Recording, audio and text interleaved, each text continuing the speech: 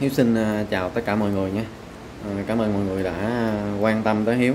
Qua tới nay, thì à, thưa mọi người là Huy đã lấy lại được cái Gmail rồi các bạn.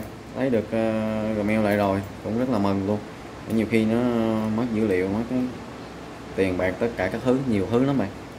Nhưng mà có một cái tin buồn Hiếu muốn chia sẻ với mọi người là Hiếu với Huy không có giúp Hiếu làm video nữa không có không có quản lý kênh nữa. Thì à, từ đây trở về sau thì mọi người à, mọi người à, uh, mong mong mong Hiếu mong mọi người đừng à, đừng nhắn tin làm phiền Huy nữa các bạn nhé. Có gì thì cứ nhắn tin inbox cho, cho Hiếu. Hiện tại là cũng không biết nói gì hơn. Hiếu thật tình là rất là đau rất là buồn luôn bạn. Nhưng mà thôi thì duyên tới đâu thì tới đó thôi. Anh em mình như vậy thôi. Thì ờ, ai cũng có công việc riêng.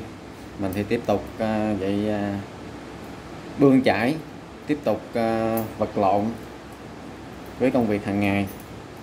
Cộng vào đó là sẽ quay clip cho mọi người úp up mọi người tham khảo thường xuyên, cũng như là mình sẽ cố gắng xử lý cài đặt, wifi tất cả các thứ kiểu như mà không có thời gian các bạn, sẽ làm như trước đây mình chia sẻ những cái thủ thuật, những cái kỹ năng xử lý wifi đồ nhiều hơn. Các bạn ha. Cái à, điện thoại hiếu cũng gần hết pin rồi. Hôm nay hiếu trực, thì mua đôi dòng muốn à, tâm sự cùng mọi người. Thì à, cũng mong mọi người tiếp tục cố gắng ủng hộ hiếu. Và cũng mong mọi người là từ nay đừng nhắn tin cho huy, làm phiền huy nữa các bạn nhé. Ok, hiếu xin kết thúc video ở đây. Xin chào và hẹn gặp lại các bạn ở clip sau nhé.